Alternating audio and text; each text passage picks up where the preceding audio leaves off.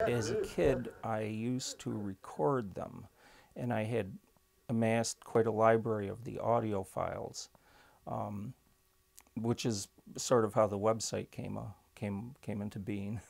Dr. Witty and I have been just activating the necessary equipment for time travel.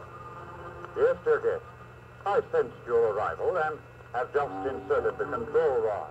So I had this website up for my gallery and I had all this extra space. So I posted these audio files under the heading Syracuse Horror Host.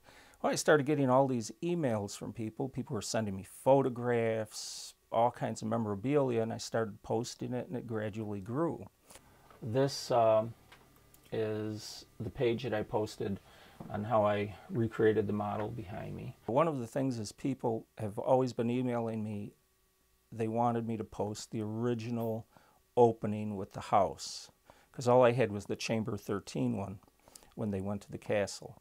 Um, so I didn't have this footage. Not, you know, there weren't a lot of VCRs around in the 60s and 70s.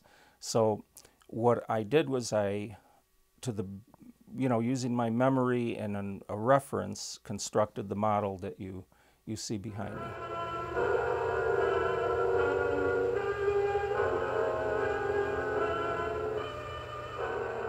Know, this is, you know, something I produced because people were requesting this, this footage, and I thought, well, you know, I could, I could probably reshoot it myself.